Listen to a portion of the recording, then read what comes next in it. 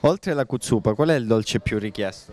Beh, chiaramente la pastiera e la colomba sono gli altri dolci che vendiamo di più rispetto a tutte, insieme alle uova di Pasqua.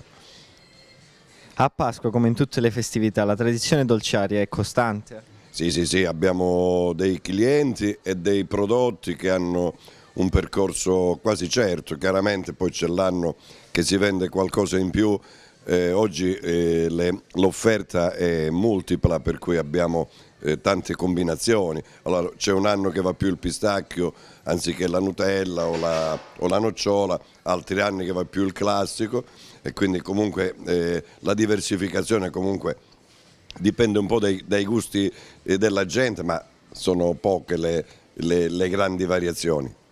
Insomma, una Pasqua dolce anche quest'anno? Speriamo sì, anche perché è stata una Pasqua un po' fredda, eh, abbastanza rispetto agli anni passati e di conseguenza c'è poca gente in giro. Però ringraziamo il Dio, una Pasqua dire, che offre comunque una sollecitazione alla gente ad essere di più insomma, in giro e quindi benvengono queste festività che accolgono un po' anche quelli che vengono da fuori. Auguriamo una buona Pasqua a tutti quanti. Senz'altro una Pasqua piena di salute e con pochi pensieri e grazie soprattutto.